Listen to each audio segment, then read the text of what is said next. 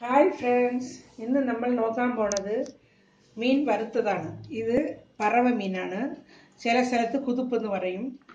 ഇത് വ- മുഴുവനോടെ വറു വറുക്കുകയാണ് ഞാൻ ചെയ്യുന്നത്. ഉം, അതിന് വേണ്ട സാധനങ്ങൾ എന്തൊക്കെയാണെന്ന് നോക്കാം. മുളക് പൊടി രണ്ട് ടീസ്പൂൺ. ഗരം മസാല പൊടി ഒരു ടീസ്പൂൺ. മഞ്ഞൾപ്പൊടി ഒരു ടീസ്പൂൺ. പെപ്പർ പൗഡർ ഒരു ടേബിൾ സ്പൂൺ. ഉപ്പ് ഒരു ടീസ്പൂൺ. പിന്നെ വിനിഗർ. വിനിഗർ ഒരു ടീസ്പൂൺ. പിന്നെ ആവശ്യത്തിന് എണ്ണ വറുക്കാൻ വേണ്ട എണ്ണ. ഇനി നമ്മൾ മിക്സ് ചെയ്യാം.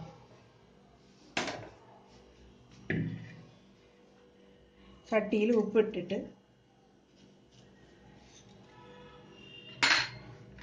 ഈ മസാല പൗഡർ ഐറ്റംസ് എല്ലാം ഇടണം.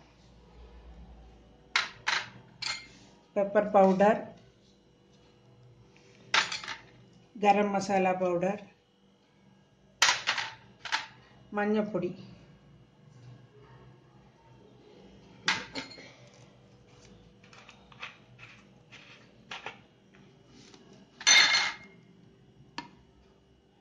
ഒരു ടീസ്പൂൺ വിനിഗർ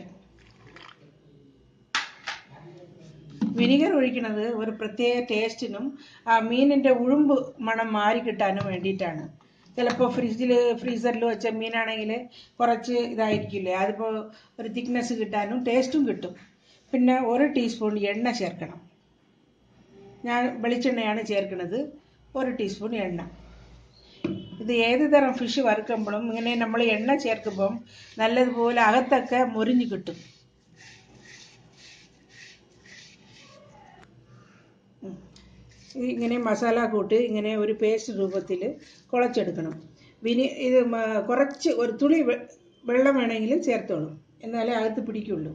ഇനി ഇതെല്ലാം ഈ മീൻ കഷ്ണങ്ങളിൽ നമ്മൾ അഹവും പുറവും നല്ലതുപോലെ തേച്ച് പിടിപ്പിക്കണം.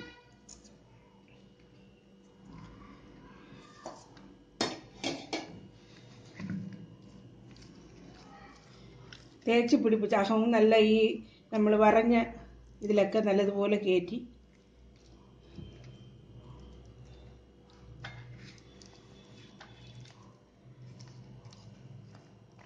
കയറ്റി പിടിപ്പിച്ച് ഒരു അരമണിക്കൂർ അരമണിക്കൂർ തൊട്ട് ഒരു രണ്ട് മണിക്കൂർ വരെ വയ്ക്കുന്നത് നല്ലതാണ്. എത്രയും ഇരിക്കണം പുറത്തിരുന്നാലും കുഴപ്പമില്ല ഫ്രിഡ്ജിൽ വെക്കണമെന്നില്ല ഒന്നും ചെയ്യൂല.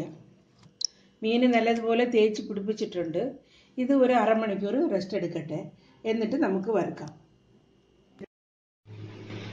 നമ്മുടെ മീൻ അരമണിക്കൂർ മാരിനേറ്റ് ചെയ്ത് കഴിഞ്ഞു. നല്ലതുപോലെ അകത്തൊക്കെ പിടിച്ചിട്ടുണ്ട്. ഇത് ചട്ടിയിൽ ഇപ്പോൾ എണ്ണ വെച്ച് ചൂടായിട്ടുണ്ട്. അതിൽ നമ്മൾ ഓരോന്നായിട്ട് എടുത്തിട്ട് വറുത്ത് പോരാം. നമ്മുടെ വ്യൂവേഴ്സ് ഒരുപാട് പേര് ഒരുപാട് സ്പെസിഫിക് ആയിട്ടുള്ള പേര് പറഞ്ഞ് ഡിഷ് ഇടാൻ പറഞ്ഞിട്ടുണ്ട്. അതെല്ലാം ഞാൻ ഓരോന്നായിട്ട് ഇടുന്നതായിരിക്കും. നിങ്ങൾ എല്ലാവരും ഇത് സബ്സ്ക്രൈബ് ചെയ്തിട്ട് ബെൽ ബട്ടൺ ഉടൻ പ്രസ് ചെയ്യുക. എന്നാലേ ഞാൻ അന്നന്ന് ഇടുന്ന റെസിപ്പീസ് എല്ലാം നിങ്ങൾക്ക് ഉടനെ കൂടെ കിട്ടും. നിങ്ങളുടെ വിലവേറിയ കമൻസ് എനിക്ക് അറിയിക്കണം. നിങ്ങളുടെ നല്ല കമൻസ് ഒക്കെ എനിക്ക് നല്ലതുപോലെ പ്രോത്സാഹനം തരുന്നതായിരിക്കും. വളരെ താങ്ക്സ് എല്ലാവർക്കും കമന്റ് ചെയ്ത എല്ലാവർക്കും താങ്ക്സ് മീൻ രണ്ട് വശവും നല്ലതുപോലെ വെന്ത് കഴിഞ്ഞു. ഇനി ഇത് കോരിയെടുക്കാം.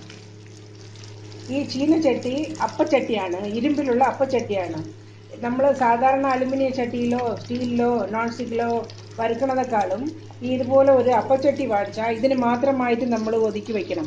അപ്പോൾ മീൻ ഇങ്ങനെ ഷാലോ ഫ്രൈ ചെയ്യുമ്പം നല്ലതുപോലെ മുരിഞ്ഞും കിട്ടും. നല്ലതാണ്. ഇരുമ്പ് ചട്ടിയിൽ വറുക്കുന്നത് ശരീരത്തിന് നല്ലതും കൂടിയാണ്. ഇതുപോലെ കുറച്ച് വെക്കണം.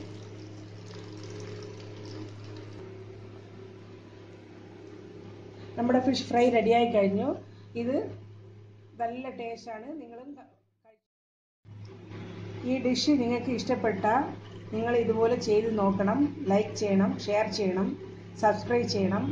ബെൽ ബട്ടൺ പ്രസ് ചെയ്ത് എന്റെ നോട്ടിഫിക്കേഷൻ നിങ്ങൾക്ക് ഡെയിലി വന്നുകൊണ്ടിരിക്കും ഇത് ഇതുപോലെ ചെയ്ത് നോക്കണം. താങ്ക്